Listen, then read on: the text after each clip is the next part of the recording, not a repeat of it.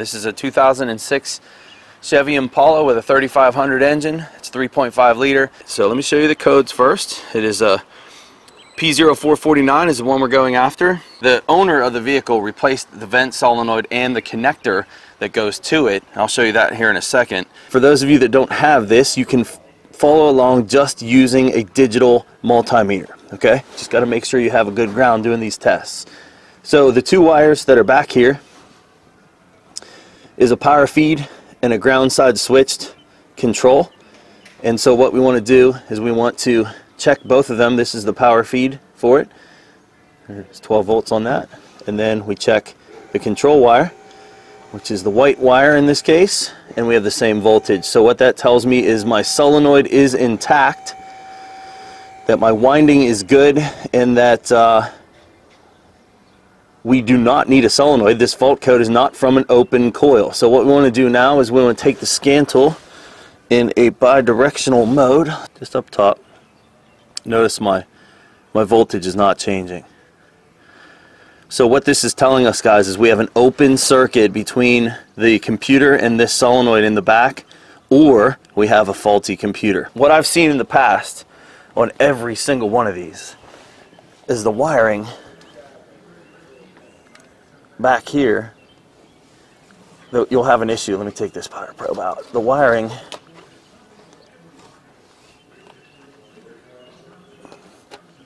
you'll have a problem right right in the connectors themselves, like right in here. They'll actually be broken inside the insulation. So you guys that are watching this that have an open circuit or low voltage code, this, this code for these EVAPs, if you read 12 and 0, that's suggesting an open in the solenoid and you need to replace the solenoid. If you're reading 12 and 12 like I have with this same code, then you have an open in the wiring and oh sweet. Did you see that? If you know it's funny, I, I did this off camera and I tugged on these and it was fine. Um, and that's why I turned the camera on. I said, man, I, I'm going to have an opportunity to show maybe a bad computer driver or an open in the harness.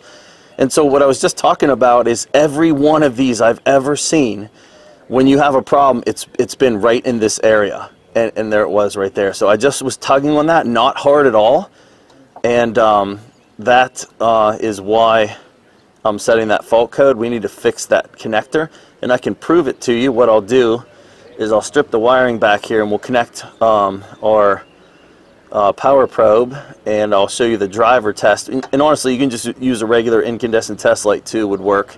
Um, let me show you that test before we uh, wrap this up. One more thing, guys. Um, take a look at the connector, and uh, you can see the green cruddies that are inside of that. That's been broken for a while. When you look at the wiring connectors, they look fine. And again, what you want to do is you tug on them, and you saw what happened. So here's my setup using a jumper to my power probe now, and I stripped the uh, connector back on the one side. I'm checking the computer side of this circuit now, okay? I want to change this to my driver test.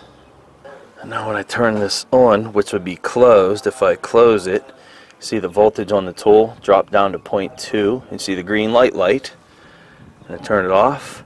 Alright, so how is my computer driver as I'm turning this on and off? So closed is on and open is off. Again, the tip voltage on this, what you're reading would be the ground side of the LED bulb on this tool. And when the computer grounds the circuit, you see that voltage will drop and it's putting about, well, whatever the current draw is of that little green LED bulb, which is uh, the owner's manual of the tool says less than 30 milliamps. So computer safe for sure. And um, you know, you're using the tool to substitute the coil in the car on the solenoid. That's what that is. So this would be now the tool is feeding 12 volts through the bulb and the bulb does not have a ground right now. So with no current flow, you have no voltage drop and that's why you're reading this number. Um, so now at this point, the last thing I need to do is I need to fix this connector and uh, that's not going to be very fun, but maybe I'll show you how I do that. Alright guys, so I couldn't, uh, I could not do this underneath the car, hold the camera and show you what to do. So I actually cut the good feed wire and it's not going to be an issue. We're going to uh, we're going to fix that as well. What we want to do is take this connector apart. Alright, so take that blue connector off the end and now we need to release this from here. This can be a little bit tricky.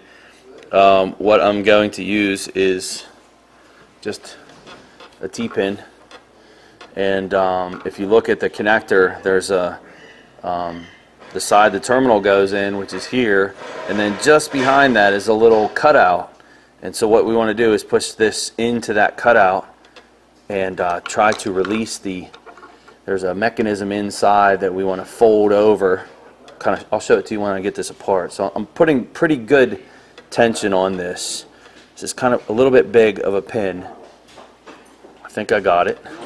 And then once you release that from that side then you pull this out. When I went down inside the connector I was going between here and here and I was forcing this piece right here down. So when you're done, we want to bend this back up. So that's what you want it to look like when you put it back in the connector. And again, so what I was doing from the outside is I was taking this pin, I was going down inside and I was forcing this part down so I can pull it out of the connector. I'm going to pull this out. So I'm just going to slide the weather pack seal out. Okay. So I've shown this procedure before in the video that I'm thinking of. It was a crank sensor connector on a Neon and I showed how to save a connector like this. And what we want to do is we want to heat the end of this insulation and then pull it away because I want to save as much of the wire right here as I can. I'm just going to use my fingers and pull it off, hopefully without burning myself too much. I normally use a lighter, which works. So there you go. Sorry, it's a little blurry. Okay? Alright, so we're going to use that wire to fix this. Alright, so what we're going to do is we're going to mesh these two together like that.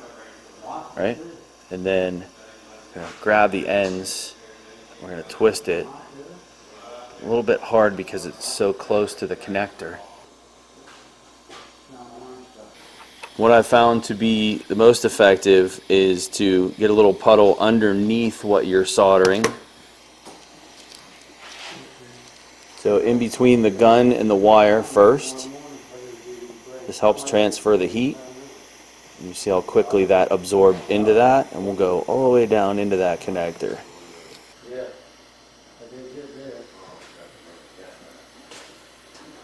What would have been better is if I would have shortened that a little bit.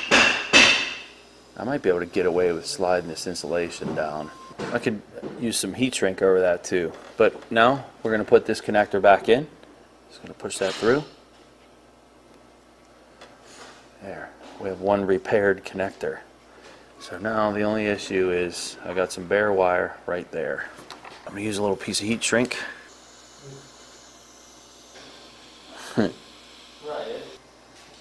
oh, one last thing. Um, get you a shot of the inside of that and uh, I, am actually going to put some uh, sealer inside of that.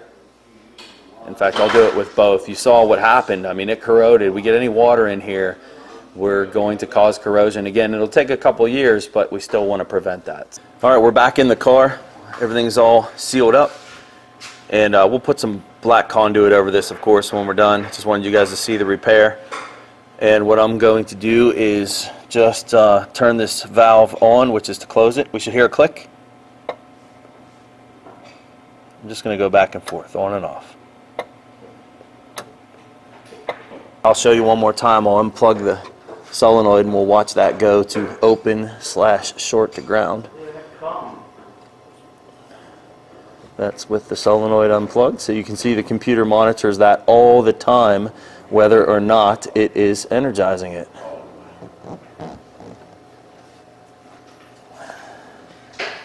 and that is plugged back in. And you see the signal on the scan tool change. So we're good.